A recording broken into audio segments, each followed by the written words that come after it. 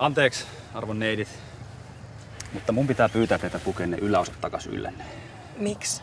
Tää ei ole mikään nudistiranta. Nyt ihan totta ne pikinit päälle.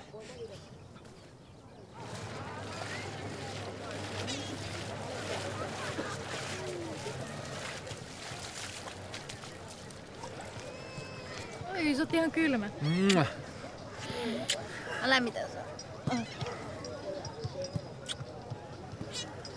Sä oot ihana.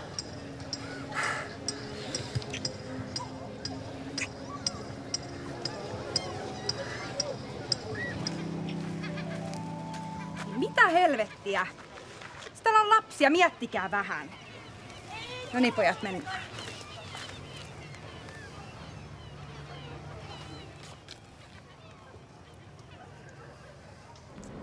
Mun ryhmä kutistui puoleen tuuttorkierroksen jälkeen. Mulla ei tainnut kadota kuolissa. Sitä varmaan nolotti, kun se haukku markkinointia tylsäksi sun puolen. Kiitos. Oli tosi mielenkiintoinen päivä. Kiitos, tosi kiva kuulla. Kiitos. Nähdään. Nähdään. Älä viitti. Come on. Mitäs mieltä Krista on tosta, että sä oot tommonen magneetti?